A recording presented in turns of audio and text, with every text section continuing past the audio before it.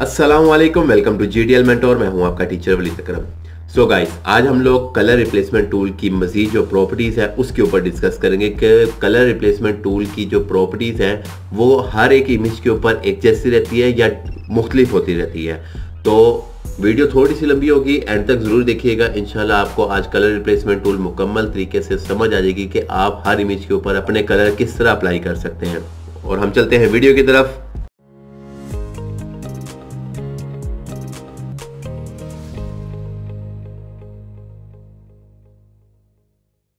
हमने colour replacement tool apply किया अपनी इमेज के लिए। हम इसको सिलेक्ट कर लेते हैं। अब इसकी ये सारी हमारे पास प्रॉपर्टीज़ हैं। सबसे पहले हम इसके मोड्स देख लेते हैं। मोड में हमारे पास सबसे पहला है ह्यू अब ह्यू क्या करता है? ह्यू आपकी इमेज के जो डार्क पार्ट होते हैं मतलब अगर कहीं पे शेडो आया हुआ है तो वो थोड़ा सा कलर आपको पता है डार्क हो जाता है। तो वो डार्क पार्ट और जहाँ पर लाइट इफ़ेक्ट हो रही है लाइट वहाँ पर पड़ रही है तो वो कलर जो है वो ज़्यादा अच्छे इन्हेंस होके आपको नज़र आ रहे होते हैं। तो वो दोनों कलर दोनों कलर को वो सिलेक्ट करता है ह्यू और ऑटोमेटिकली उन दोनों कलर को फिल करने की कोशिश करता है। तो हम देखते हैं कि हम किस तरह फिल करते हैं। मैं यहाँ पर लाइक ग्रीन कलर ले लेता हूँ, ठीक है? अब ये ग्रीन कलर मैंने इसके ऊपर अप्लाई करना है। सिंपली मैं सिर्फ़ इसके ऊपर ड्रैग करूँगा और आपको कलर मिल जाएगा। कुछ इस तरीके से। अब आपको क्लियर हो गया कि ह्यू ने सारी जगह पे कलर किया है, उसके लाइट पार्ट के ऊपर भी उसने कलर इफ़ेक्ट थोड़ा थोड़ा सा छोड़ा अपना, ठीक है? अब आगे हम चलते हैं, आगे हमारे पास ऑप्शन है सेचुरेशन की। अब सेचुरेशन क्या करता है? सेचुरेशन जो है वो आपके कलर को मिक्स कर देता है। मतलब जो डार्क पार्ट है और लाइट दोनों को मिक्स करके आपके कलर करता है। अब ये देखिए। अब मैं इसके ऊपर सेचुरेशन कर रहा हूँ, लेकिन इसके ऊपर वो हो नहीं रहा। उसकी वजह सेचुरेशन हमेशा जो डार्क पार्ट होता है, ठीक है, उसके ऊपर कलर आपका रिप्लेस करेगा। अब आप देख सकते हैं कि इमेज के बैक साइड पे कलर हो रहा है। उस मेरी जो पैरेट है पैरेट के ब्लू कलर पे कलर नहीं हो रहा। उसके जो बैक पे, पीछे जो डार्क साइड है, ठीक है, वहाँ पर इसकी सेचुरेशन सारी हो रही है। आप सेचुरेशन को इस तरह यूज़ कर सकते हैं। अपने बैकग्राउंड पे कहीं पर डार्क साइड है, वहाँ पर आप इसको इस्तेमाल कर सकते हैं। अब कलर क्या है? कलर की ऑप्शन आप यूज़ करते हैं, ये ना तो फ़र्क करेगा लाइट में, ना डार्क में। इसने कलर ने जो है कि पूरा कलर ही कर देता है आपकी इमेज के ऊपर। किस तरह? अब ये देखें। मैं सिंपली यहाँ पर थोड़ा सा आपको करके दिखा देता हूँ।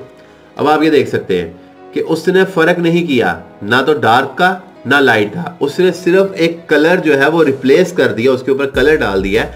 उसमें हमारा बैकग्राउंड भी बीच में उसने डिटेक्ट कर लिया है। उसने हमारी इमेज के डार्क पार्ट को लाइट को, सारों को उसने कलर कर दिया हुआ है।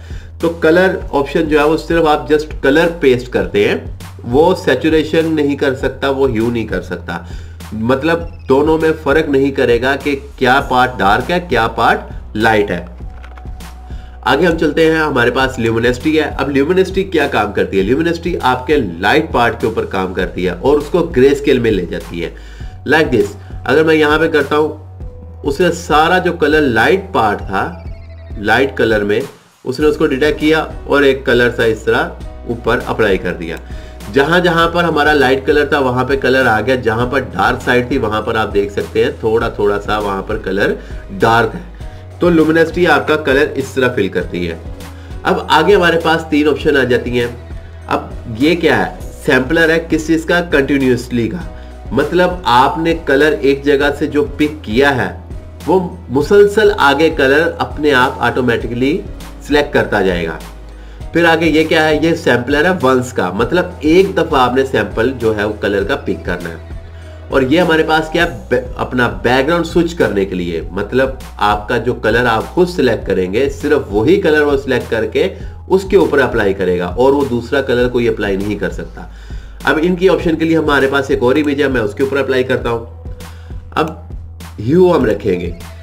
आप लोगों ने भी most of the time hue रख के ही अपनी इमेज को कलर करना है। ह्यू रखने के बाद आपकी इमेज के ऊपर कलर अप्लाई जब आप करेंगे, वो अच्छे तरीके से अप्लाई हो जाता है।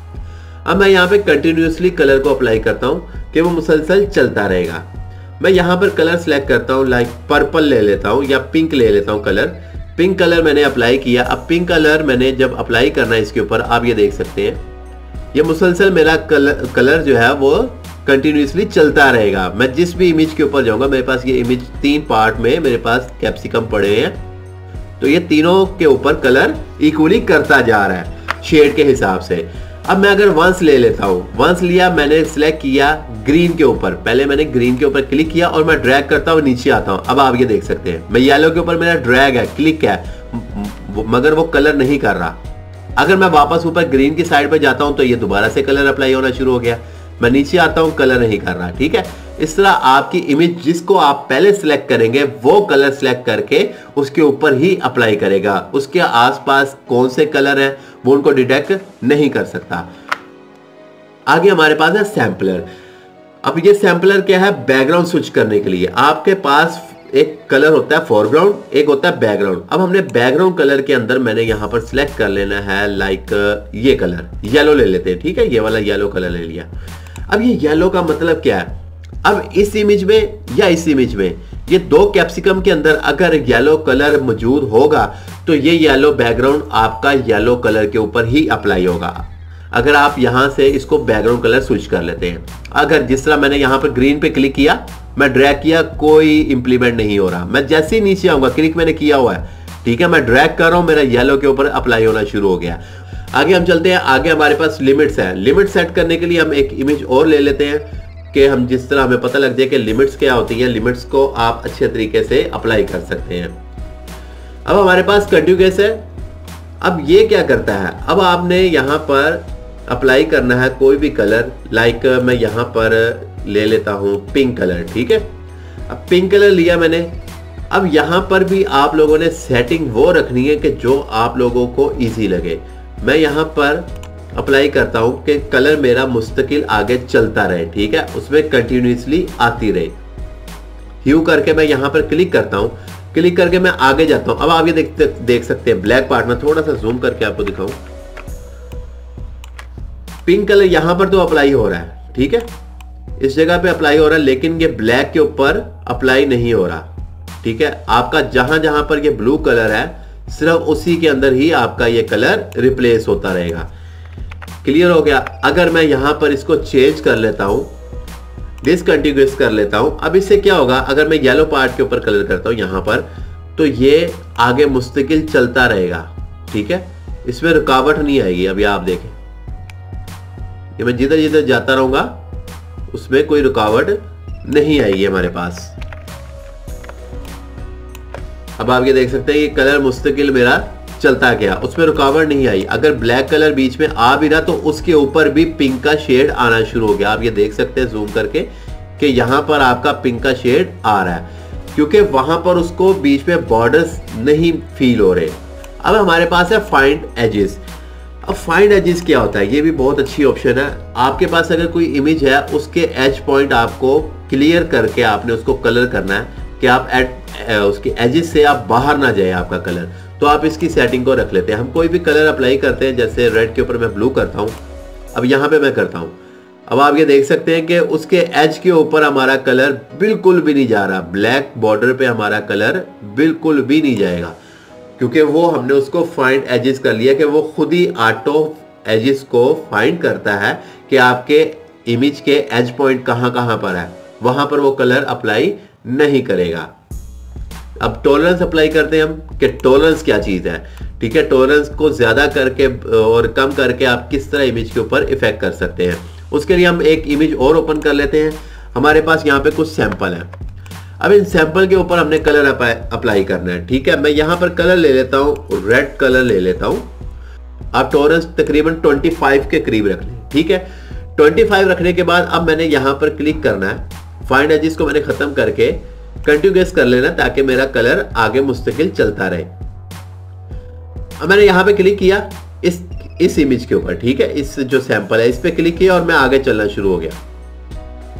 अब आप ये देख सकते हैं। जहाँ पर मैंने क्लिक किया था, वहाँ पर उसका कलर ज़्यादा अप्लाई हो गया। जहाँ पर बाद में गया, वहाँ पर हमारा कलर कम कम करते करते आहिस्ता आहिस्ता कम होना शुरू हो गया।